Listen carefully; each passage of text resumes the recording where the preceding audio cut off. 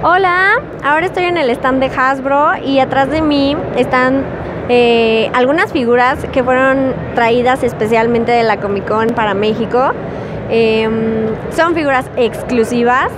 Ahorita las que estamos tomando son eh, pues un paquete doble de que trae un personaje de Guardianes de la Galaxia y otro de Thor. Están súper padres las figuras.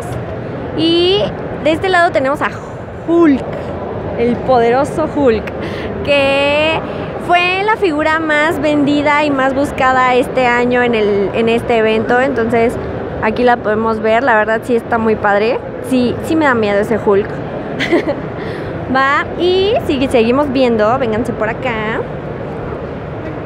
Tenemos más figuritas que fueron traídas exclusivamente. Tenemos de Star Wars, este set de tres personajes y este otro también exclusivo para aquí de Boba Fett. ¿Cómo lo ven? ¿Qué tal? Y aquí viene la mejor parte. Ah. Justo nos estamos preparando porque a las 6 van a abrir una fila especial que ya se están empezando a formar por allá para poder adquirir las figuras que están vendiendo en, en el stand. Entonces nosotros vamos a intentar comprar justo este paquetito a ver si, si lo logramos. Yo ya vi que todavía quedan algunos, entonces no estamos tan lejos en la fila. Entonces yo creo que sí lo logramos adquirirlo para, para Epic Legends Collection. Y aquí tenemos otro de Cazafantasmas. La verdad está muy, muy padre el, el, camioncito, bueno, no es camioncito, qué oso.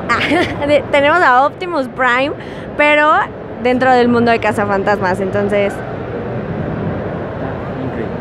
Está súper, súper, súper padre. Ahí está Optimus Prime, su logo. Y de este lado tenemos... Ay, vamos para acá. Es que hay mucha gente y siento que atropello a la gente. Ay, estos giran. tenemos aquí eh, un set así mostrándonos en este súper eh, que gira. Creo que esto es importante. Estos son unos Stormtrooper y trae sus armas. Ay, es que, es que gira y no lo puedo ver todo, a menos que gire con él. sí, trae sus armas. Es un Sea, Trooper, trae accesorios. Pensé que era una luz y que por eso se veía rojo. Y bueno, ¿qué les puedo contar de esto? Es la primera figura de Star Wars de episodio 9.